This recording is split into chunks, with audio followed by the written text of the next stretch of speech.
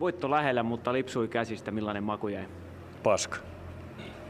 Samanlainen maku kuin Rönnin pöksys on tällä hetkellä. Haju.